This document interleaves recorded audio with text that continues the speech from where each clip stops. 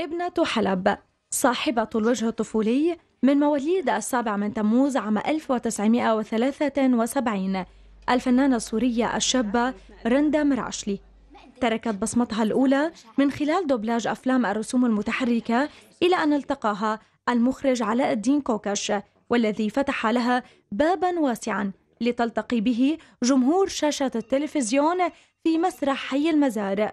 والذي فتح لها بابا واسعا لتلتقي به جمهور شاشة التلفزيون في مسلسل حي المزار عام 1999 لطفي اتفق مع تجار السعودية ودول الخليج ليصدر لهم صابون غار. وطلب مني زيادة الكمية ليبدأ بشحنها طيب وإنتاجنا من بودرة الغسيل؟ بدنا نزيده ونبدأ بالمبيض بأسرع ما يمكن. بهالحالة يا ست أميرة منا على الأقل خمس عمال زيادة. جيبوا اللي بدك إياه المهم الشغل يمشي. تكرمي. خلصوا تصنيع ماكينات خلط البودرة؟ أبو شهاب عم بيلاحق الحداد والطرنشي وعدوا يسلموني إياهم بعد جمعة. بدي إياكم تشدوا لي الهمة وتسلموني إنتاج وأنا ما رح أنسى لكم أتعبكم وفي نفس العام كانت على موعد آخر مع جمهور الشاشة الفضية في مسلسل ثلوج الصيف. أحمد أنا بدي أعرف. من حقي أعرف إذا كنت عم تستغلني مشان تتجاوز ماضيك.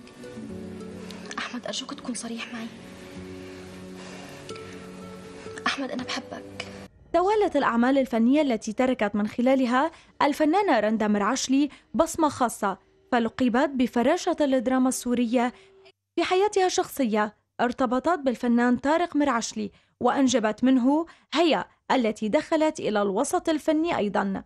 وبعد فترة تزوجت مرة ثانية وأنجبت طفلا آخر. شاركت في العديد من الأعمال الفنية وكان لها ظهور مع الفنان المصري هاني شاكر في إحدى أغنياته المصورة. يعني اللي بينكو زي اللي كان بينك وبيني. قولي لا قبل الدموع ما تخبي عيني. شاركت في عمل درامي حمل عنوان دامسكو وكان من آخر الأعمال التي أطلت بها على الشاشة الفضية.